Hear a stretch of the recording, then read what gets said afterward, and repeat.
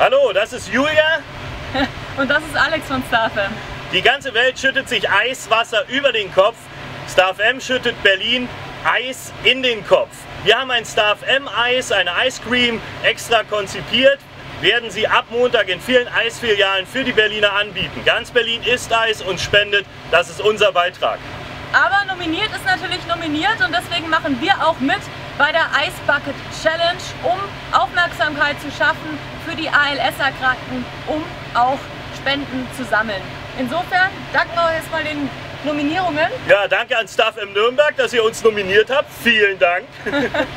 und danke auch an Jonas für meine Nominierung. Und wir nominieren auch ein paar Rockstars, die definitiv für Menschlichkeit stehen und auch nach wie vor natürlich äh, hier noch mit der Ice Bucket Challenge mitmachen müssen. Das wäre Daniel Wirz, die Beatsteaks und Alec von The Bossos. Oh weia, jetzt kommt der Star FM Vollstrecker.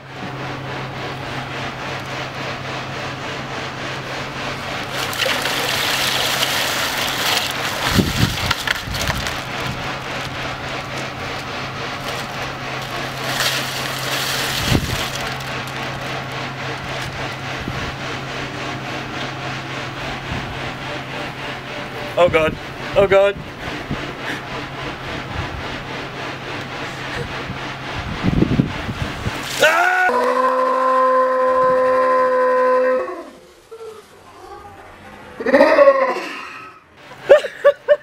cool!